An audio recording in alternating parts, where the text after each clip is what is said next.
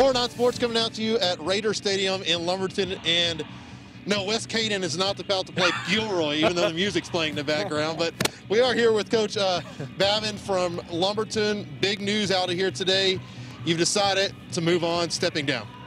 Uh, yeah, it's uh, it was the right thing to do. Uh, the right thing to do for, for me and my family.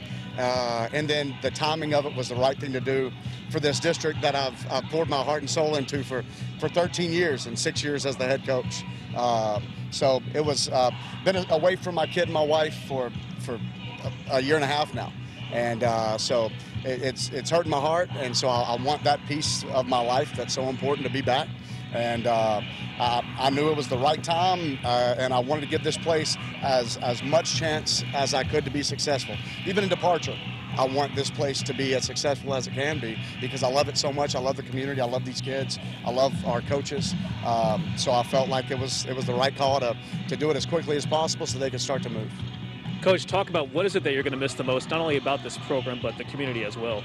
Uh, well, the you know coming back home and being the head coach and all that stuff, all these relationships that I've I'd had for years was great. But man, the relationships that I was able to build with with all these parents and all these community members and all these kids as they're as they're coming up through our system.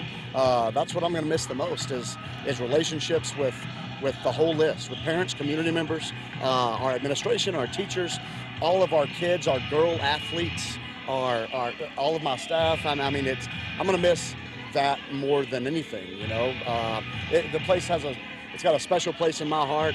In my in my letter to our community, I said that I will always bleed Raider colors, you know, and, and I absolutely will. But uh, now I've got to got to take care of me and my son and my wife and um, and reunite with them.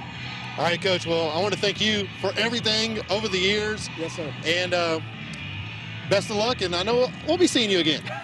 I, I will be coaching somewhere, no doubt about it. All right, Coach.